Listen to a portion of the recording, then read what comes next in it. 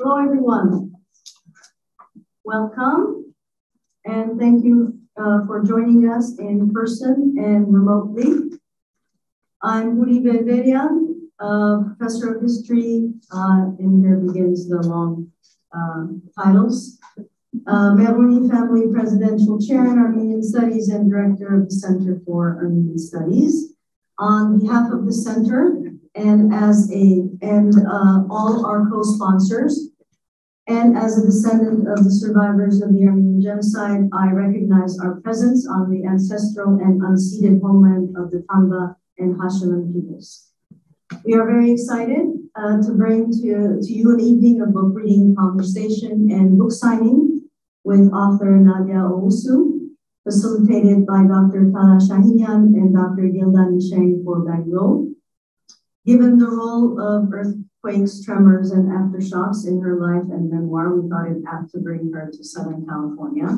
uh, but uh, we're very happy that there were none of those uh, while she's been here, and we hope that she leaves without any of those happening um, either. Uh, this program was made possible by an unprecedented collaboration and co-sponsorship of several partners on campus, and I'm grateful to all of them. Uh, of course, the Center of, uh, for Armenian Studies, Illuminations, uh, Humanities Center, Humanities Equity Advisor, and Humanities Climate Council, and the Departments of African American Studies, Comparative Literature, English, and of course, my own here department, History.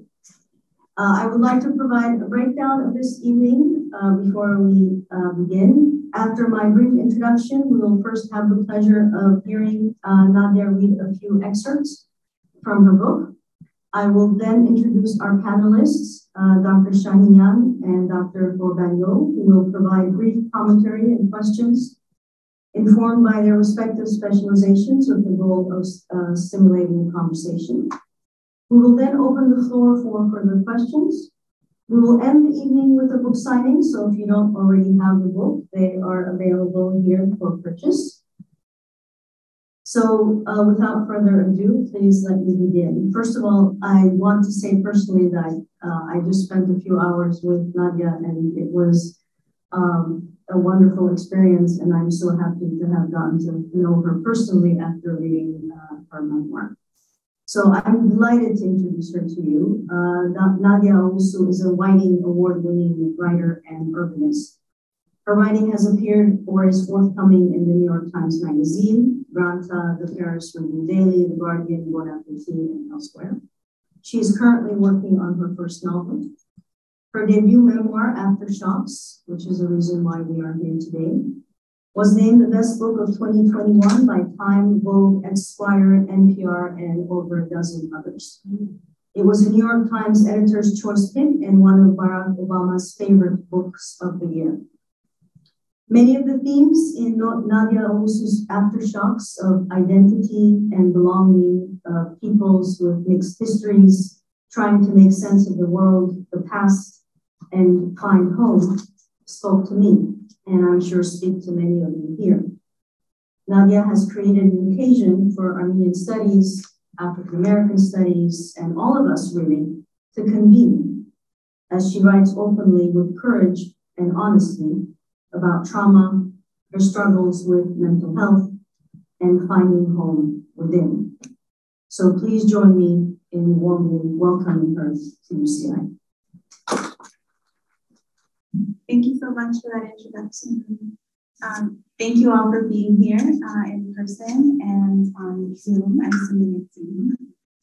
Um, I'm just going to read a few excerpts uh, from my memoir, Aftershocks. I'm going to start with um, the first chapter. It's called First Earthquake. Rome, Italy, age seven. My mother's hair is long, straight, and black. It blows behind her in the wind. She is walking away again. In the moonlight, she is a phantom ship drifting out on obsidian waters toward the place where the sky and ocean meet, disappearing over the curvature of the earth. And the moment is so evanescent, so intangible, that I am already wondering, a wisp of her still in sight, if she was ever there at all. She does not turn to see me in the doorway. I am seven years old, bundled up in a pink sweater and down stuffed coat, my bobbled hat pulled down past my eyebrows. My white socks are dingy and damp from the rain that seeped into the black canvas shoes I insist on wearing no matter the weather. I want to call out to her, but I'm afraid that she will not turn around, or worse, that she will, but still won't choose me. She gets into the passenger seat of the blue Fiat her husband borrowed from an acquaintance. They are passing through Rome for a day on their way back to Massachusetts. They vacationed in Venice. Earlier, before my mother arrived without sign or signal, I woke up to the sound of rain. It was dark outside, so dark I thought it might still be night until I smelled pancakes. My father made pancakes on Saturday mornings. As I ate my breakfast, face buried in a shabby copy of Little Women, my father fretted.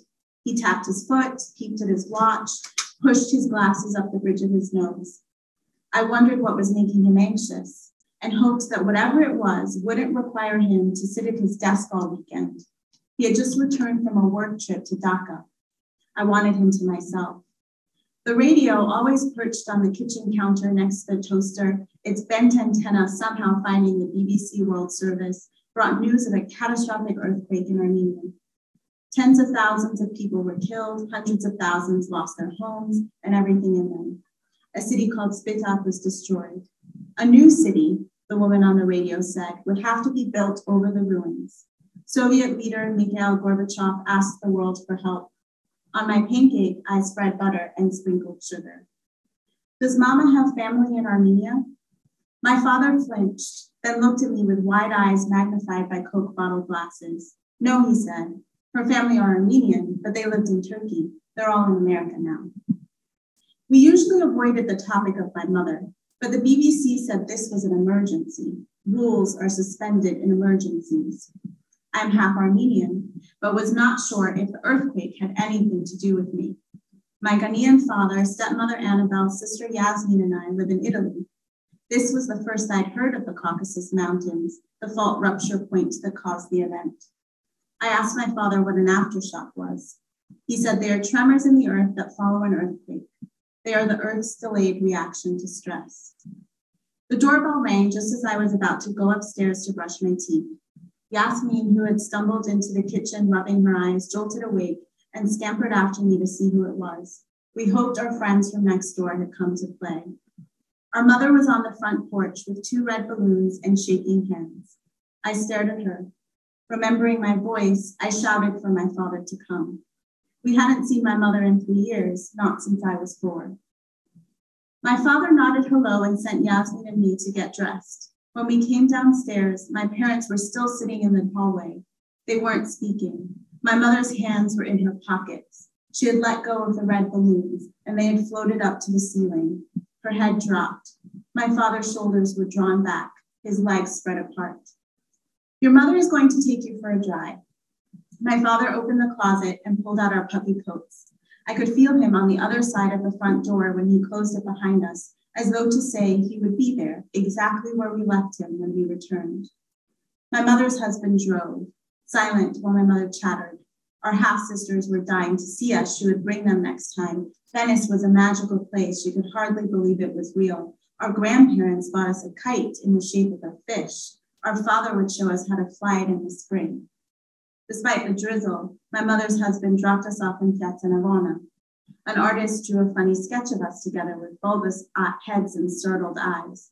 We ate at a cafe, plates of spaghetti al pomodoro. All of us requested lots of Parmesan cheese. My mother talked about school and said she liked her house, even though, as far as I knew, she had only seen the hallway. I asked her about the earthquake. She hadn't heard the news. Someday we'll all go to Armenia, she said. It sounded, sounded like half question, half statement, so I said yes, even though I didn't believe her. As we left the restaurant, a juggler swept over grinning. His hands seemed to barely move, but his blue, yellow, and red clubs hurtled high above his head. He caught two in one hand and one in the other and bowed deep. My mother clapped. Yasmin and I, always tentative around strangers, considered the cracks in the paving stones. My mother pressed a few gold and silver thousand lira coins into the juggler's hand. She also gave one each to Yasmin and me to toss into the Fontana di Quattro Fiumi. I told my mother what my father told me about the fountain, about how the four figures in it are the gods of four rivers on four continents the Nile, the Ganges, the Danube, and the Rio de la Plata. Above the gods is an obelisk topped with a dove. The obelisk represents the Catholic Church. The river gods are powerful, but they prostrate themselves before the Vatican. The fountain is a symbol of colonialism, I whispered, echoing my father, who speaks to me like I was a grown up. Colonialism, as I understand it, is white people stealing land from Black and Brown people, white people beating and killing Black, black and Brown people, white people forcing Black and Brown people into slavery and servitude. My father, I know, was born in the last year of colonial rule in what was then the Gold Coast. He says being born as Ghana was being born was the beginning of his good fortune, of our good fortune. I liked that my mother laughed and told me I was smart. When I threw my coin into the water, I closed my eyes tight and listened to my mother's laughter sing with the sound of water. That sound was the wish I dared not shape into words because words could be misconstrued. Now I watch my mother get into the blue Fiat. Her husband starts the ignition. To see her more clearly, I squint. She rests her head against the window, and I imagine, or perhaps hope, she is crying. The car pulls away, absorbed by the night. I sniff the air for exhaust or perfume, for any remnant of my mother's presence, but I smell only wet limestone and garlic. My stepmother Annabelle is cooking dinner. Piazza Navona seems far away now. We live in Eur, a neighborhood known by an acronym for the Esposizione Universale di Roma, a World's Fair that never happened because of the onset of World War II. Eur was built by Mussolini to celebrate 20 years of fascist Italy and to expand the city to the sea. Unlike the rest of Rome, Eur is an orderly place. Its buildings are solid, polished white, and arranged around a grid of right angles. Usually its predictability makes me feel safe, but now it feels inhospitable, spiritless. Somewhere in the house, my sister shrieks. She does not want to take a bath. Her anger, I know, is about something else entirely.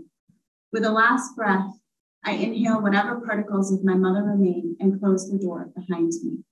In the hallway, I remove my shoes. The marble floor is cold against my thin socks. Above me, the bulb my father keeps forgetting to change flickers from light to dark, then light again.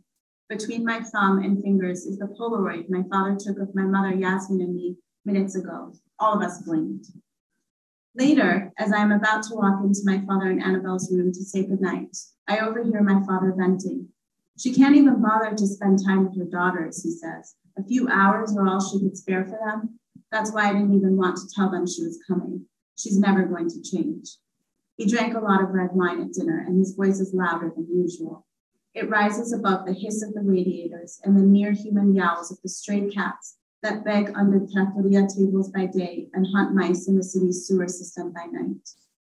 I knock on the cracked open door and enter, trying to walk normally, resisting running into my father's arms. My lips quiver, and I purse them to keep from crying as my father pulls me into a long hug my head on his shoulder, I nuzzle into the soapy smell of his neck. He holds me like this every night until we vibrate to the same rhythm. Our heartbeats say, He is mine and I am his. He kisses my forehead and reminds me to dream sweet dreams, reminds me that tomorrow will be ours. We can read together all day, and maybe in the evening we will listen to high life music and dance in our pajamas. These reminders I know are meant as consolation. He wants me to forget my mother was here. The following week, I take the caricature by the artist in Piazza Navona and the Polaroid picture of my mother Yasmin and me to school for show and tell. I do not tell my father. I attend an international school in the Acacia. My classmates are from all over the world, but I am one of only two Black students. Sarah Brennan, an English girl with green eyes, wants to know why my mother and I are different colors. There's no malice, only curiosity in her voice, but I feel embarrassed. I can only say, I don't know why. As I return to my seat, my face burns. At lunchtime, Miss Rossi, my teacher, sits next to me and asks if I enjoyed spending time with my mother. Tears pool in my eyes as I nod. She takes me by the hand and leads me into the bathroom where she helps me wash my face. She asks me what is wrong. How do I tell her about the trembling that leads to ripping, then to violent rupture, to whole lives and whole cities disintegrating, to piles and piles of rubble, to displacement and exile? How do I tell her that a day that begins with pancakes for breakfast can end in disaster, that in an instant, an earthquake or a mother can arrive and change everything? How do I tell her that even when the earth stops shaking, cracks in the surface spread silently? Pent up forces of danger and chaos can be unleashed at any time. I don't know how to explain any of this, so I tell her I'm afraid of the aftershocks.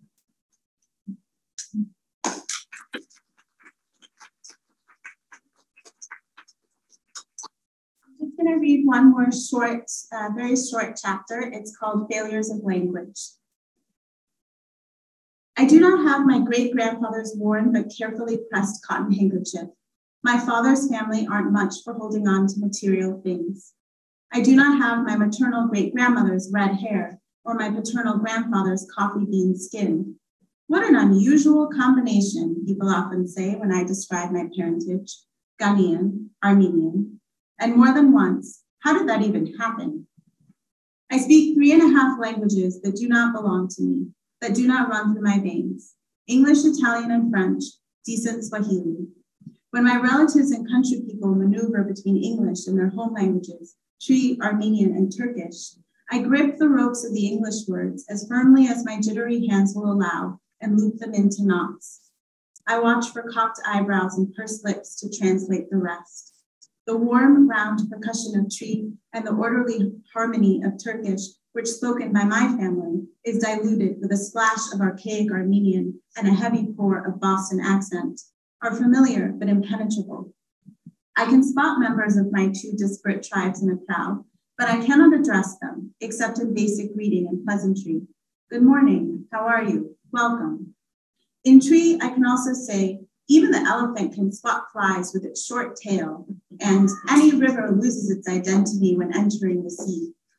My father, when his intention was to remind or chastise, was fond of proverbs and folk tales. The heroes of those tales were animals of the forest, spirits, and gods. I know them by name. My Ghanaian relatives are at times tickled by my inability to speak Twi.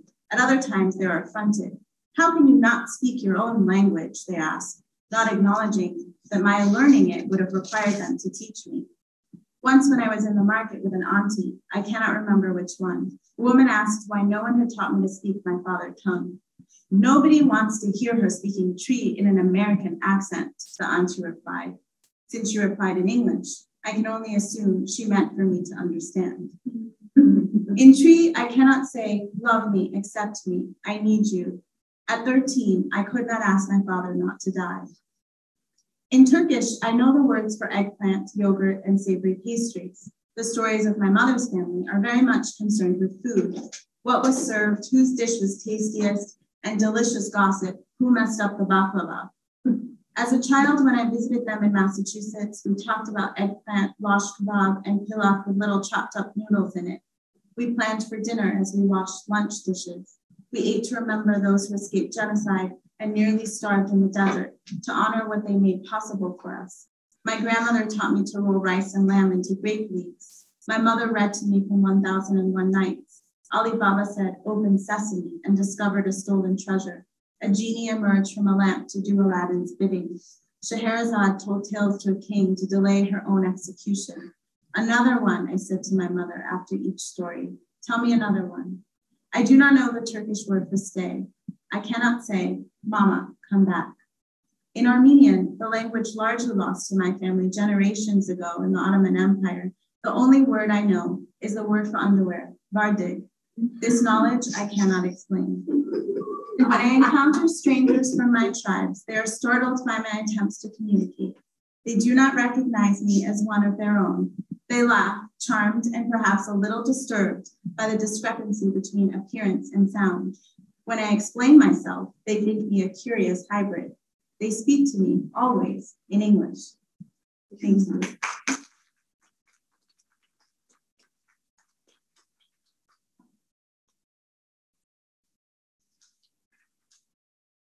Thank you so much. Thank you. That gives you a flavor uh, of the memoir if you haven't read it yet. Um, and I hope I hope you will. Um, now I would like to introduce our two panelists uh, and uh, who will give uh, short four to five minute commentaries and um, some questions to get a conversation going.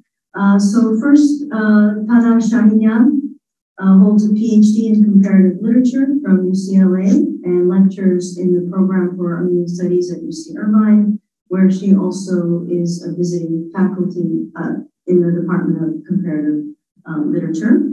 During the next academic year, uh, I am pleased to say she will serve as interim director of the Center for Armenian Studies in my absence while I'm on sabbatical leave. Uh, so she'll be doing what I'm doing uh, now. Uh, her, among other things, of course. Her research interests include world literature, transnationalism, uh, politics of Western Armenian literary history and language, and questions in trauma, aesthetics, and representation.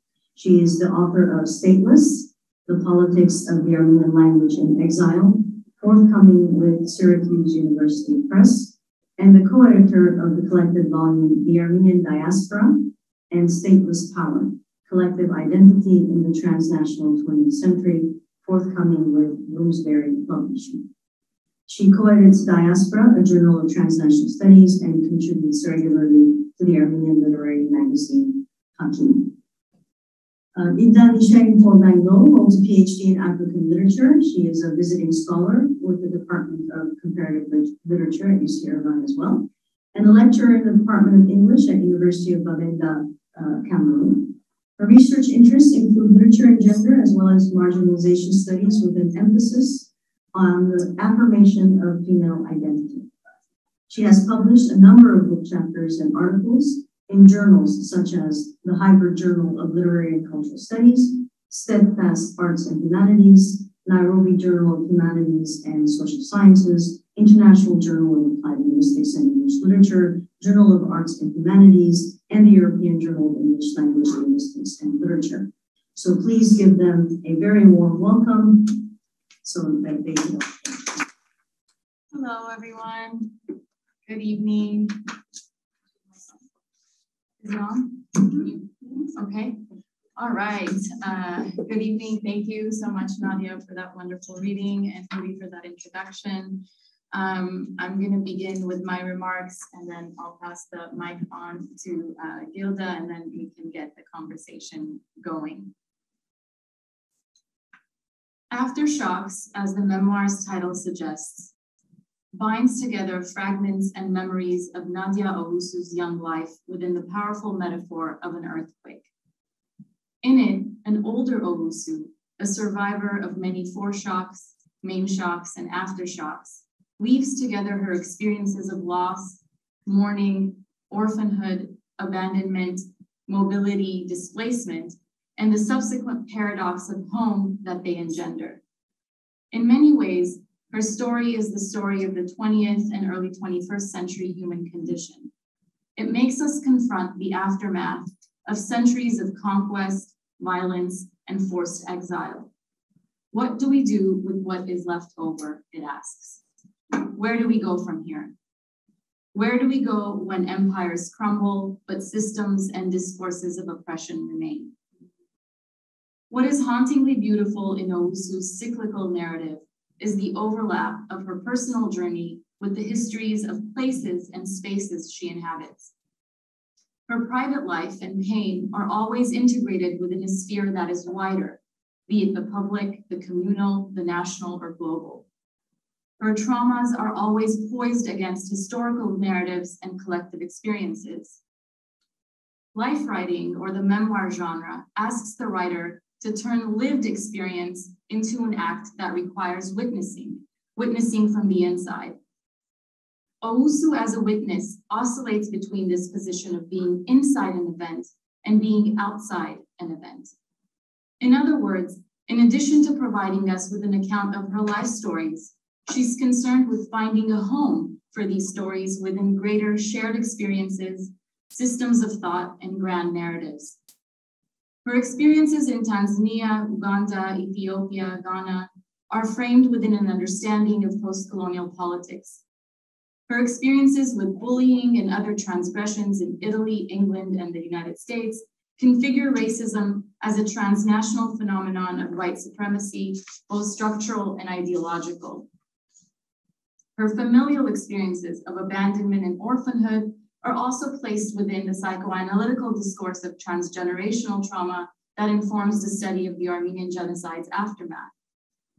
Her struggles with depression and out of placeness are narrated through an intersectional web that accounts for patriarchal framings of the female body, racist framings of skin color, and classist restrictions on access and mobility. The effect of this type of simultaneous micro and macro level mapping that Owusu provides leaves us, the reader, spellbound.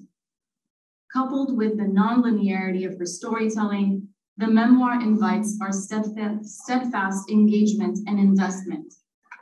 We also find ourselves belonging to her story and feel like her narrative voice belongs to us.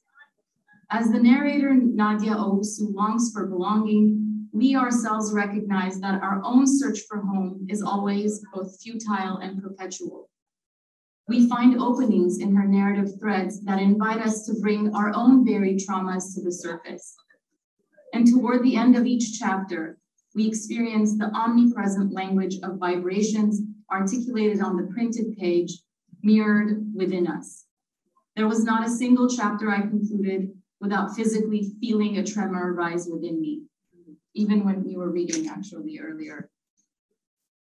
Toward the end of the memoir, the section entitled Devices compiles both the real and figurative earthquakes of Owusu's life, jumping from literal earthquakes to civil wars she's lived through in Uganda and Ethiopia, to the 9-11 attacks that she's experienced up close, to her own personal losses, she confesses louder, louder than before that she thinks in seismic terms. She writes, an earthquake is the ground breaking and the heart breaking. It is fictional, frictional forces and literary device. While earthquake, both as an inherently uh, an inherent earthly phenomenon and as a natural disaster, is defined from many angles in the memoir's paratext. This line, coupling frictional force with literary device, struck me and lingered with me for a long time. Owusu's aftershocks, despite all the pain it recounts, is a celebration of the art of writing. Through its subtle, slow building, yet poignant poetics, it reminds us of the power of literature as not only a form of representation, but as an act of claiming agency through language. For me, Nadia Owusu's memoir was not a story of becoming, rather a story of unraveling, a story that privileges processes of working through traumas over the idea of a perfect and complete self.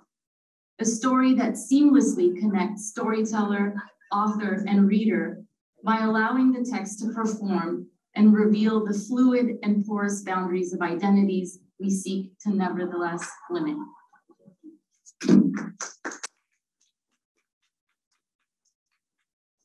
Thank you, Sana. Oh, yeah, you're welcome again.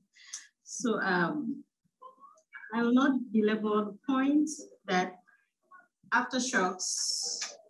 Can you? Yeah. yeah. Okay. Okay. It's an incredibly moving uh, memoir, a story of other numerous remarkable stories which border on the life and experiences of Nadia Owusu, who has a multiplicity of identities in nature and in nurture.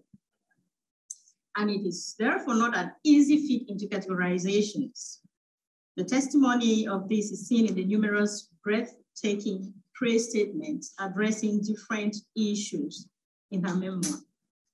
My focus will be on some of those issues handled in the memoir, looking at them from the post-colonial and African appreciation of uh, the memoir. I will start by borrowing a leaf from Achille Mbembe, the post-colonial critic, whose statement in critique of Black reason seems to capture the post-colonial message in Aftershocks. He says, I quote, For in the end, there is only one world. It is composed of a totality of a thousand parts, of everyone, of all worlds. It is therefore humanity as a whole that gives the world its name. So we see that post-colonialism encourages a multiplicity of views and not universalism, which ends up most of the time being American centrism or Eurocentrism. An imposing post-colonial lesson drawn from the memoir aligns with what Chimamanda Ngozi Adichie refers to uh, the danger of a single story, danger of a single truth in a multicultural and multifaceted world as ours. Also, being a hybrid of a Ghanaian father and Armenian American mother, is privileged to have lived in many places. There is a quotation from the text which really struck me. She says, I'm quoting from the text. I loved growing up in many countries, among many cultures. It made it impossible for me to believe in the concept of supremacy. It deepened my ability to hold multiple truths at once, to participate and nurture empathy. And what is truth? We sometimes say truth is reality. And oh, the memoir makes us to understand that there is no one reality because reality is the world with its different cultures, different experiences. So the different parts of the memoir seems to be a symbolic message of the parts that make the whole, the human story, which is not single, but multifaceted and should be seen as such for peaceful coexistence in society. She therefore denounces the one truth syndrome that generally or sometimes characterize Western thought and theorizing. So the message could be viewed from the following proverb. Let the hawk perch, let the eagle perch, and I can add, let every other bird perch, and whoever doesn't want the other to perch, let its wing dislocate. From the African post-colonial perspective, we are going to, uh, in the course of the discussion, look at uh, culture, oral literature, and education. We can talk about racism, slavery, colonialism, and ensuing consequences like inferiority, superiority complexes, trauma, identity crisis, and belonging, language, uh, just to name these. So um, I have a few questions here for you, uh, Nadia. We are going to discuss as we move along. But the first issue that I want to talk about is uh, history. Uh, I understand that history occupies a huge portion in your memoir. And you so beautifully, beautifully weave the different histories in the story, connecting, for instance, though uh, at different points of the memoir, slavery to colonialism, to independence movements, to post-independence leadership, and you seem to do so, so effortlessly, which is really great. I really appreciate that. One thing, uh, too, is that history, as we know, it seems to have been written. So what in essence are you doing? Are you writing these stories or are you rewriting these stories? So maybe you'll tell us a little bit about that. And um, still on that, uh, your, your, your life seems to connect with all these histories and shape in most instances who you are and who you have become. I don't know if that is true. Thank you. Thank you so much. Thank you both so so attentively. It really means a lot to me. So thank you both.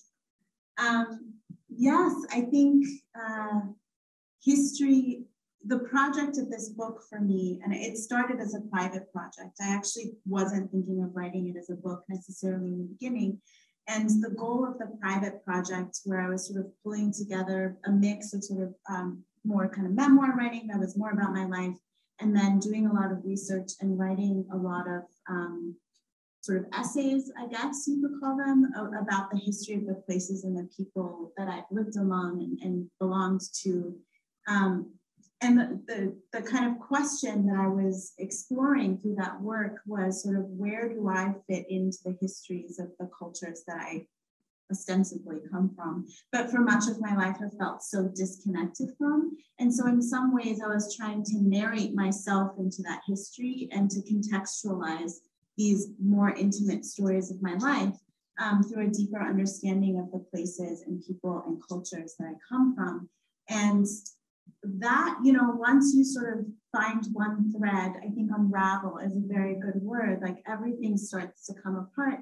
And it was also to kind of connect to another part of your question in terms of writing or revising. One of my struggles, particularly in writing um, about African history, is that much of what was available in the archive in the United States is written from a white and Western and European colonial perspective. And so it was very difficult for me to find sources that actually uh, connected with my experience of the places that I came from and the stories that I had been told by my elders. Um, I didn't recognize those stories in a lot of the sources. And so that was a struggle for me. And I realized that actually part of my project had to be not just to write the history so that I could more deeply understand them um, because of that sense of disconnection, but also to revise those histories so that they better represented um, the stories that I had been um, given in bits and pieces throughout my life. And so I think revision um, and, and revisionist history is a project that I'm really interested in, not in the sense of sort of like we all get to just have our own facts, but more in the sense of sort of um, reclaiming stories that have been stolen, um, you know, from us and to write them in a way that honors the realities of, you know, the, the people and places I come from. Thank you. And then if I could approach Gilda's question from a slightly different angle, um, she's raising the question of um, the, you know, the, not necessarily the tension, but really the, the really nicely complemented personal narratives with the historical narratives and your work's relationship with the archive and what's been written before. On the other hand, if we dig deeper into the personal uh, narratives, uh, we're uh, we have to kind of ask about your work's relationship with memory, your own memory, and your family's memory. The memoir genre demands a certain pact with the idea of truth. You know, when as readers we pick up a memoir, something, you know, I think it's on the cover, right? A, a memoir. Um, what we're expecting is that um, what we're about to read is a true story. It happened to, it's, it, it happened as such to the author. Um, we also know that when it comes to experiences, the way things are remembered can produce different versions depending on who's remembering and when they're remembering. Um, and then to add to that, if we're talking about experiences that are particularly painful or traumatic, um, there's also issues of uh, traumatic memory and faulty memory and, and, and revision with you know, the process of memory. So could you talk about um, what the act of writing a memoir entails or entailed for you? Um, if, the, if there were gaps in memory, how do you go about closing them? Um, um what is lost and what is gained when uh, you're bringing your own past uh, to, to language? Mm-hmm. That's such a great question and one I've thought about a lot um, as I was writing and actually sort of um, you know, there, there was a mentor of mine who, who says often that the, um, the problem with the essay can become the subject of the essay, mm-hmm. right? And so for me, that was true in a lot of ways in that, you know, the, the, the sort of problem of the ways in which our memories are fallible and the ways in which, you know, I know my own memory is, is prone to imagination. Um, and also, you know, I, I was reading somewhere that um, you know, the more you tell a story, the less true it becomes because you sort of color it as uh, in the telling. Um, and so in the telling, you're sort of, you get further and further away from the truth. And so many of the stories that are most important to us, the ones that stand out, that we remember, that we've told so many times, um, it's really difficult at a certain point to know like to what extent this is well and also the, the idea of sort of objective truth is tricky right? Because people can understand a certain situation from multiple different perspectives, what you recall of the situation, like all of those, uh, my recollection, my sister's recollection, both of those might be true, but we're retaining a different sense of the truth as different, we're ascribing different meanings to the truth.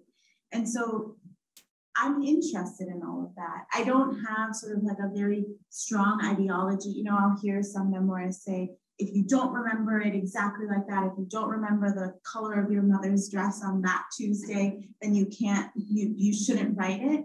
But for me, you know, some of that sensory detail that sort of that, that stays with you in the mind, whether or not it's true, that is how we experience reality. It is how we experience life. We hold on to those things.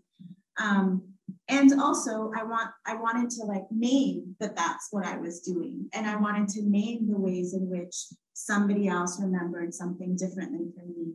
And what does that mean that we ascribe different meanings to the stories of our life? And I wanted to really engage with that question on the page um, and, and be truthful about the ways in which you know, we we all invent stories for ourselves. We invent useful stories for ourselves.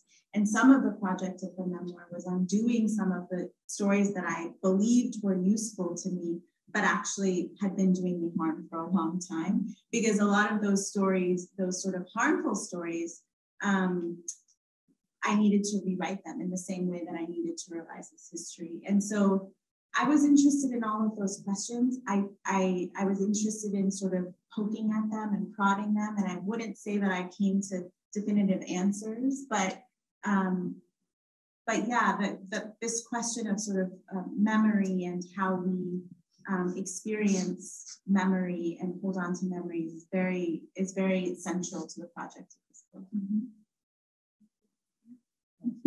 That's awesome.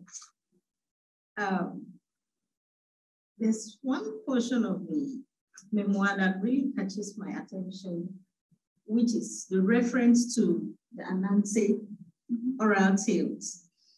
You know, um, history sometimes tells us that uh, Africa did not have a culture before colonialism. Now, uh, we have somehow promoted that colonial agenda because sometimes I get to get into class and I ask, what is literature? And students will tell me it's a work of art written in carefully selected language and all of that. They don't talk about the oral aspect. But when we look at the Anansi oral tales, we see that the, the, the constitute a part of Ghanaian literature. You know, this, this Anansi stories seem to be saying that Africa had a living fictive tradition an educational model and a culture before the coming of the, the, the colonialists. I don't know whether that is what you're saying. Yes, that's absolutely what I'm saying. And it, you know, I was, I, I grew up with those stories, um, as most Indian children do. We grow up with those stories. They're sort of morality tales. You know, they're designed to teach us about the world um, and our place in it, and how to be in relationship with others and and so you know i hadn't thought about them in a long time but i went back and sort of revisited some of those those stories. And you know there are collections of them that exist. Some of them have been written into children's books. But then i wanted to more deeply understand sort of the role of storytelling in ashanti culture. And this is true of many african cultures uh, pre-colonial african cultures and continues to be true in many african cultures the role of oral storytelling um, in our cultures. And the role of music is very similar in that those things are not separate. You know, often in the Western world, the role of the artist is um, the artist is often positioned as someone sort of on high with all of these talents, and it's sort of a way to separate ourselves from from community. Whereas in in many African cultures and these storytelling traditions, the role of the artist is part of the culture. It's embedded in the culture. We experience art in our day-to-day lives. There are, there are songs for washing clothes. There are songs for going on walk. There are songs for um, for flirting, you know, and dances for all of those things. There are stories that are told on particular for particular festivals um, or in particular moments of people's lives, and it's really embedded in the culture. And so I was wanting to learn more about that tradition and that history um, and which is literature and is sort of the seeds of those stories and so much of the African literature that I love even today, you can see them. And then I also, you know, sort of learned that the Anansi stories actually are told um, in different versions. Some of the characters have changed a little bit um, and the settings have changed, but they're told on the islands of the Caribbean. And you can still recognize, you know, Anansi is still present, which means that those, Anansi is a trickster spider. He's still present in those stories in the Caribbean, which means that those stories survived the Middle Passage. And to me, that is so miraculous that this culture, this oral storytelling tradition is so powerful that it sustained people through the horrors of enslavement um, in, in a similar way that um, the roots of jazz, like um, if you if you listen to the rhythms in, in kind of early jazz and the roots of jazz, you can hear Ashanti rhythms, which makes sense, you know, because those rhythms also survived the Middle Passage and then were reinvented in a new world. And you know, as someone who's interested in diaspora, even when your history is sort of stolen from you, as is the case with you know Black Americans in this country, the the stories and the rhythms, the art you know, sustained people across generations. And um, that to me was really powerful and meaningful and spoke to the fact that African literature existed before colonization. Thank you, thank you, that's awesome. yes. and, and, you know, I would also, as you were talking, I would also argue that there's a certain sense of orality in your own storytelling. Uh, the question I was about to ask uh, next had to do with the, the chapter called Fault Zone Voice where you pay so much attention to, uh, you get us to pay attention to the sound of your voice, our author's, our narrator's voice, and that it has evolved um, throughout the years. And, you know, uh, in turn, we start paying attention to, to, you know, our own evolution of sound and voice. Um, earlier, you read the chapter about language. Language is disappearing in the case of the Armenian lost to your uh, grandparents' generation in the Ottoman Empire, how languages travel and how you react to languages, can hear and feel at home, etc.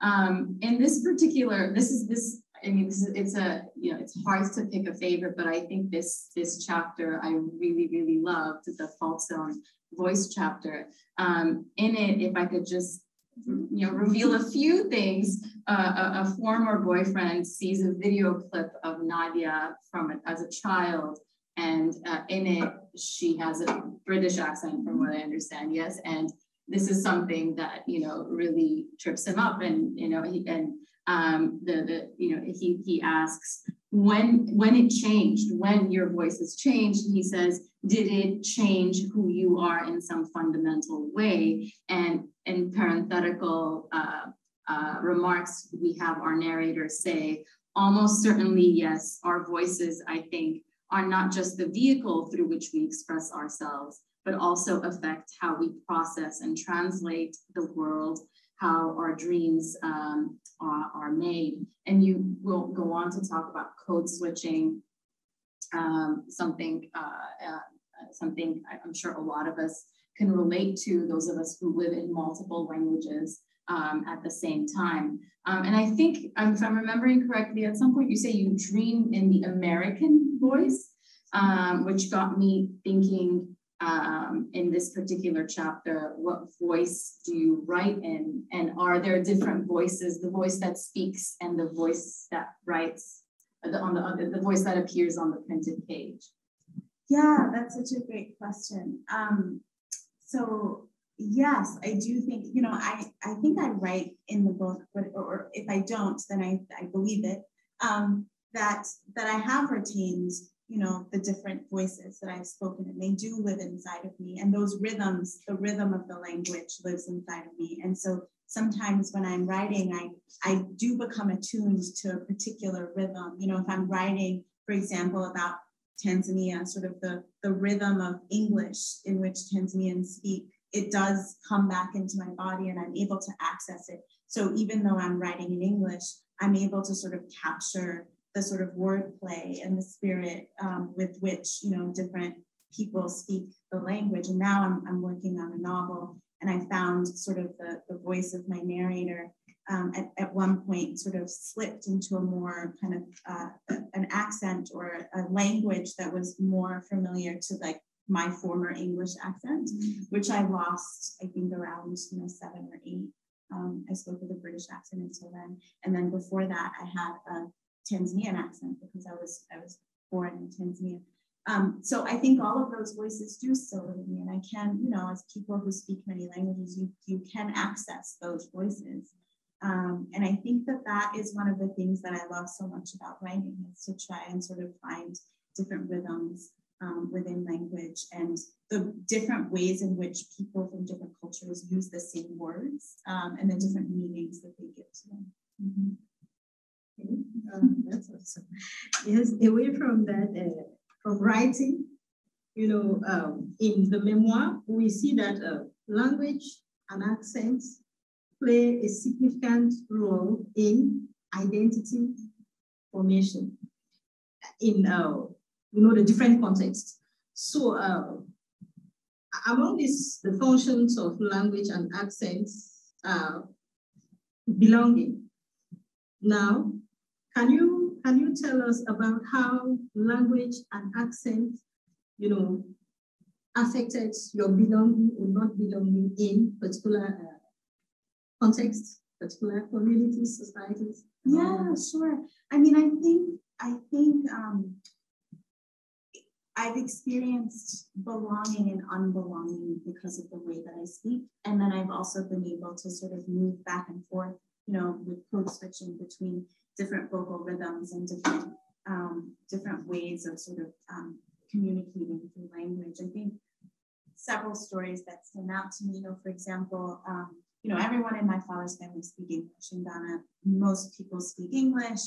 Um, but then people also speak pidgin, which is sort of like a more playful form of English. Um, and a lot of sort of um, the sort of more uh, casual, sort of joking around life happens in pidgin, which I don't have access to. I can't speak pidgin. And so I'm sort of, I, I can understand some of it, you know, but I'm sort of on the outside of that. I can't participate um, in, in that way. And, and similarly, you know, as with many languages, with people who are um, and have for generations who have been multilingual, the moving back and forth between Twi and English, you know, I mean, it, it's it's difficult for me to sort of keep up, um, and and I'm so I'm sometimes left out of of those sorts of conversations with my family.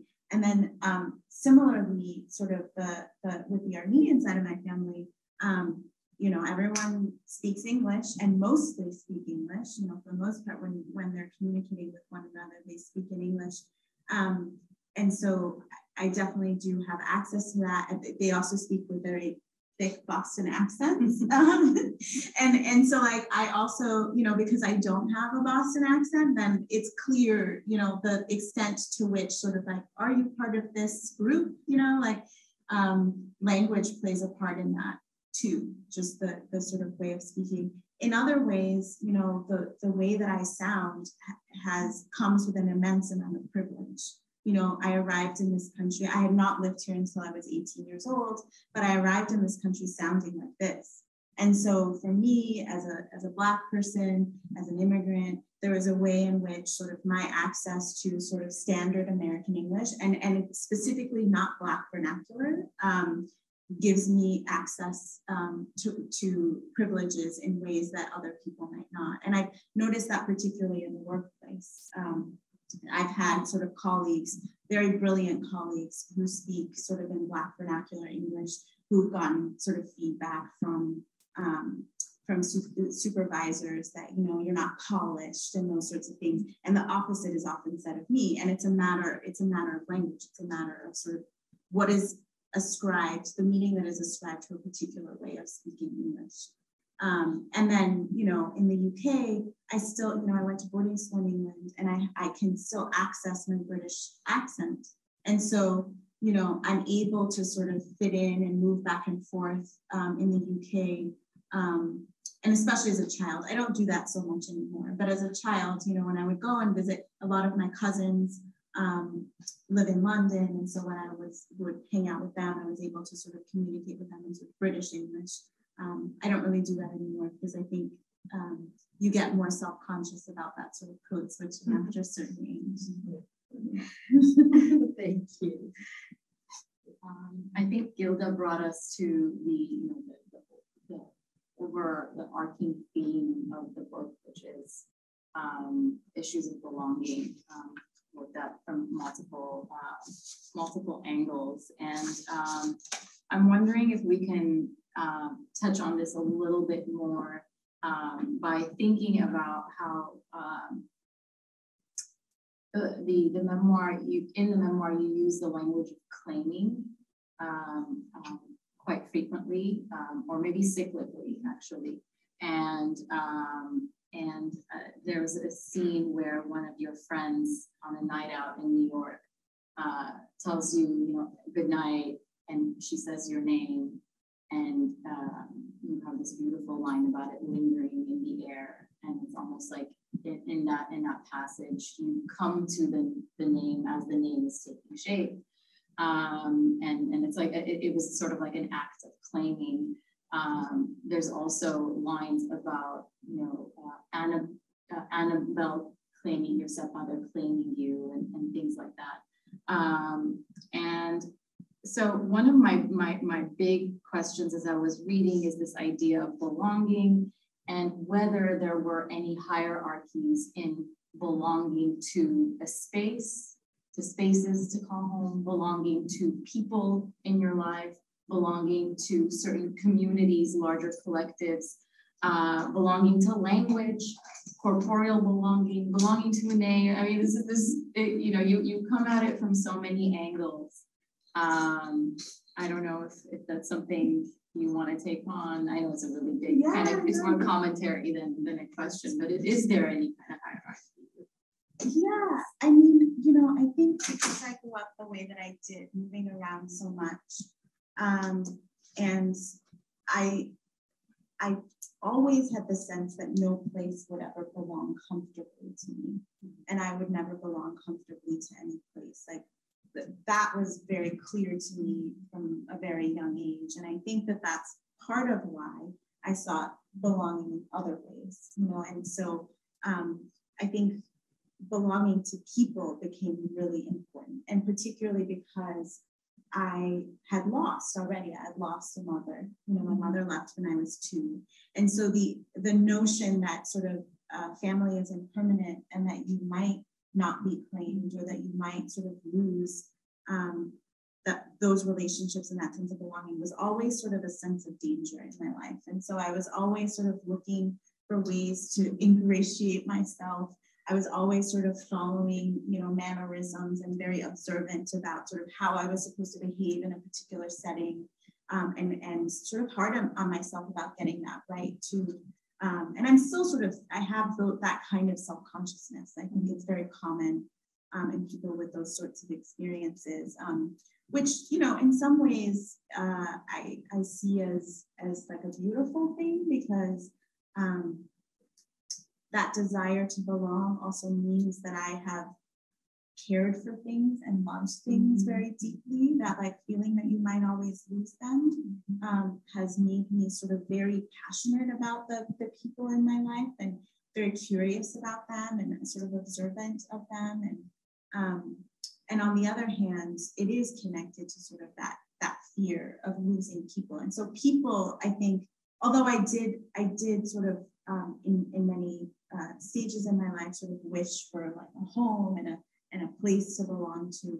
But if, if I were to sort of rank those things, um, belonging to people sort of was the, the most important thing. And then of course, belonging to people is so wrapped up in all of these other questions of identity, of language, you know, I've spoken to, you know, feeling sometimes outside of my family because of language, questions of language, um, not looking like either side of my family, um, and so a sense of sort of being visually sort of uh, easily pegged as an outsider um, in many ways too. So all of those things are very sort of tied up. But if I were to sort of think about what was my deepest desire, always it would be people.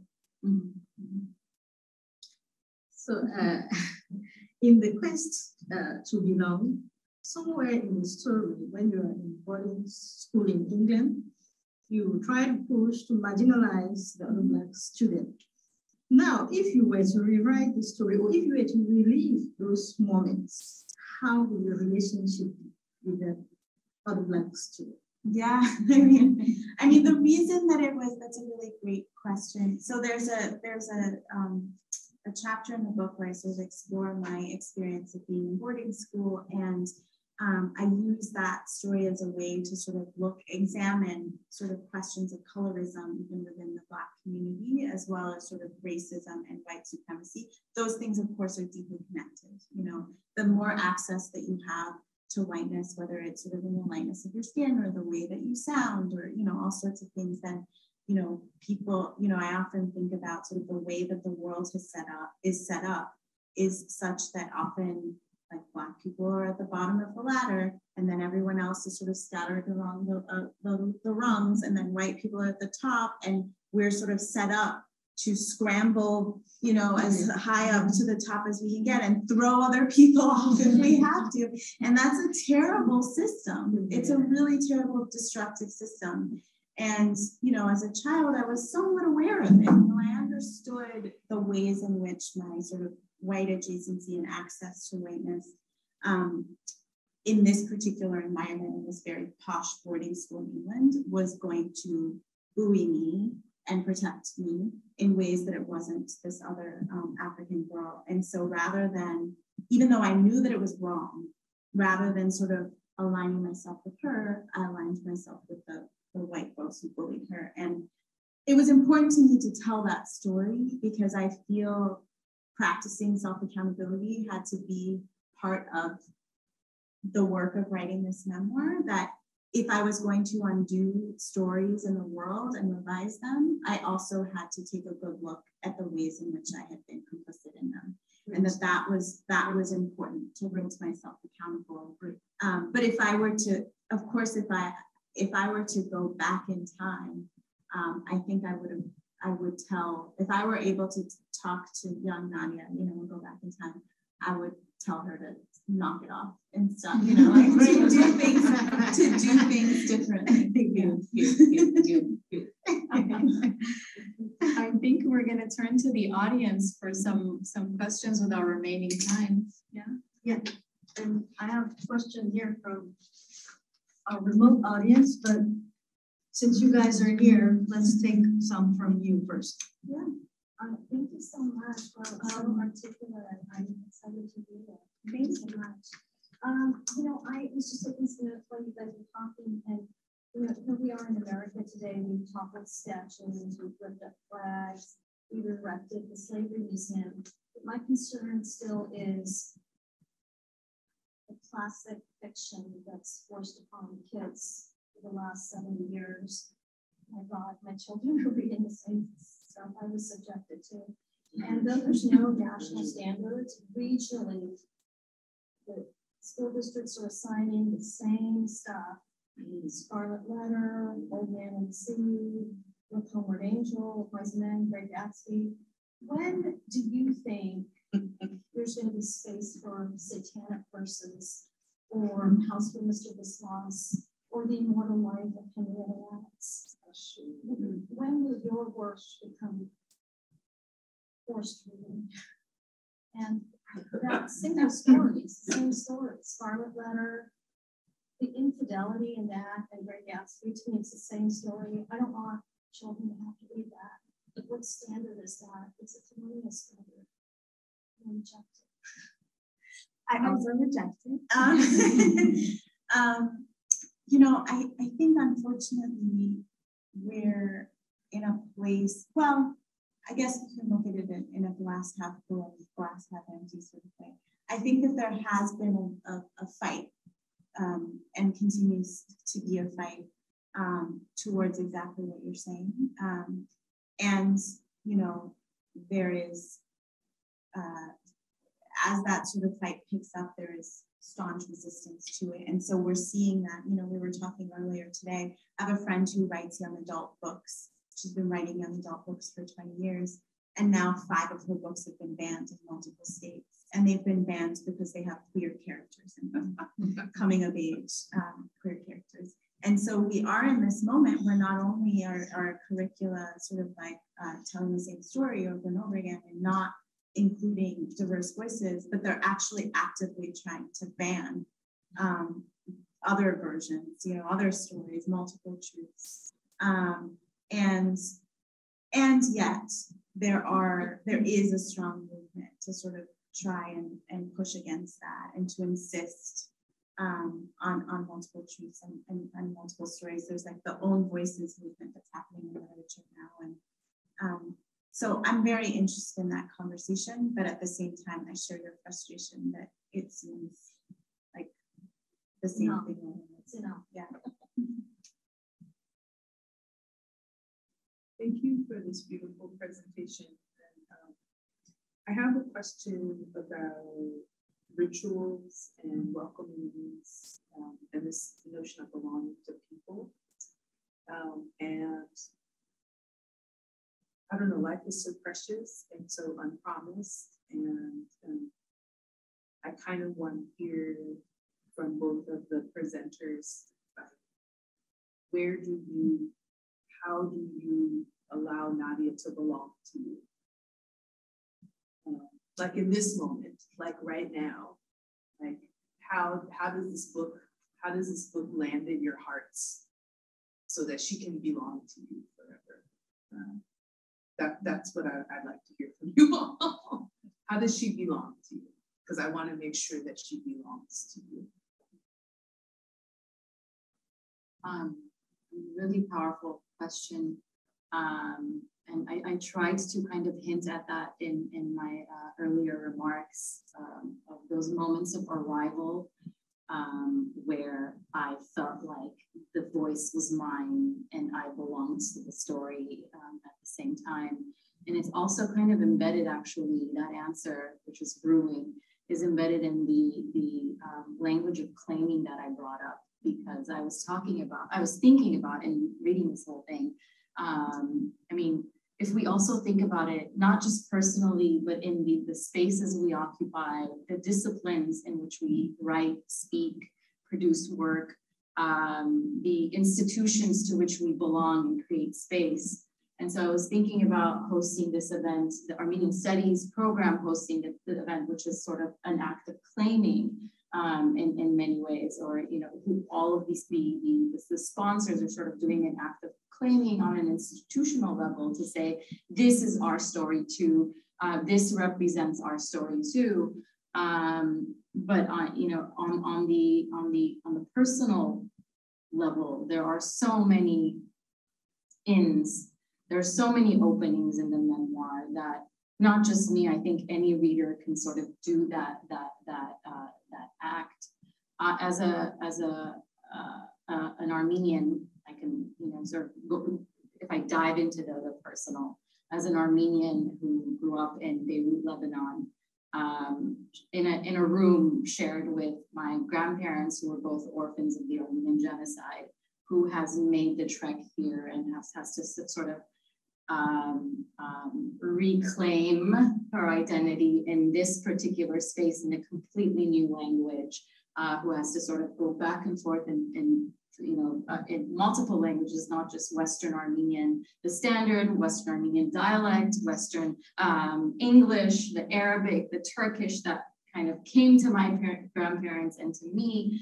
I mean, this, this, this, the, the story really, um, um, really, I think, spoke to me personally. But I also think what is powerful about this narrative is it's it, it the way it's structured to allow for these kinds of earthquakes to, to happen in all of the, the, the readers. Um, and really that beautiful interplay between the, the, the personal voice and the historical narratives that you go back and forth into that allowed for these openings, um, I think for any reader. Is uh, in from uh, was what you said, uh, Talar. I think there is no way that you're going to read these aftershocks and you will not find yourself in. One way or the other, you're going to see yourself in the text. Because like I said before, it's a story of so many remarkable stories.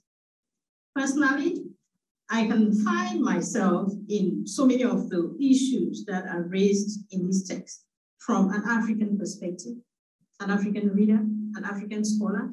There is a lot, especially with the, with, with, with the research that she, she does.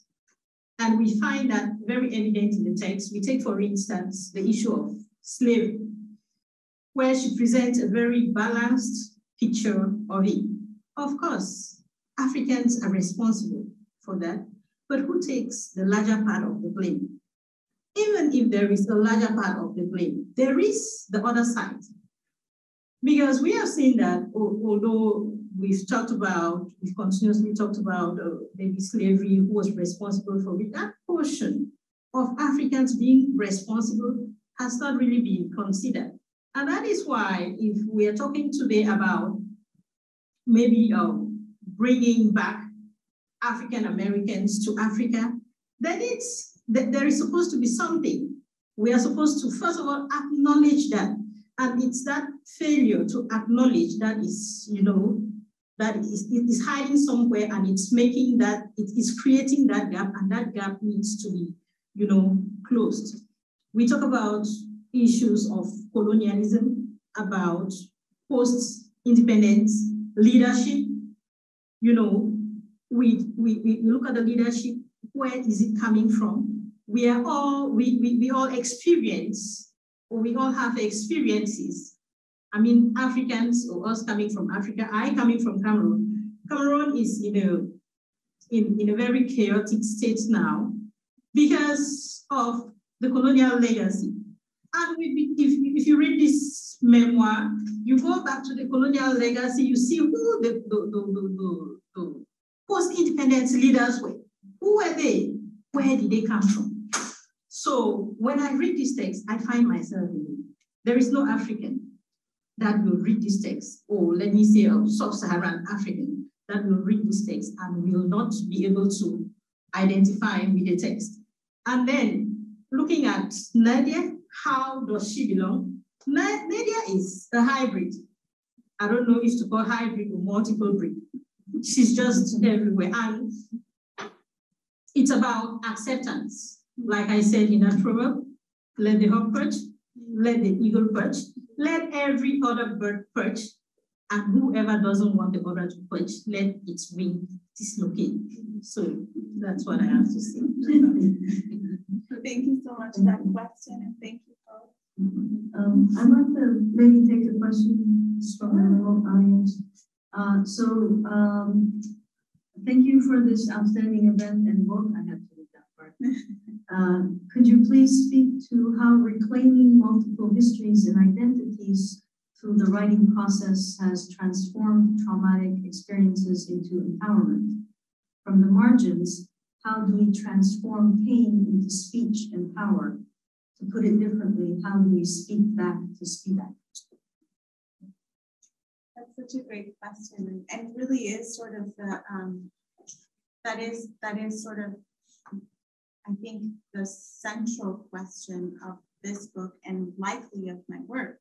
Um, I I think often of sort of the ways in which we have many of us have been, you know, our stories have been mistreated in so many ways. Like even thinking about sort of the uh, the the history of the Armenian genocide and just how absurd it is that it was, you know, last year I think or the year before. I don't know how time is working now with the pandemic, but that the United States, you know, uh, the president of the United States finally acknowledged the genocide and to think about sort of what it took to come to this point and, and what it means to carry a contested history in your body after sort of a um, sort of an exile and displacement and you know massacre and then to have your story to, to have your story be contested time and time again.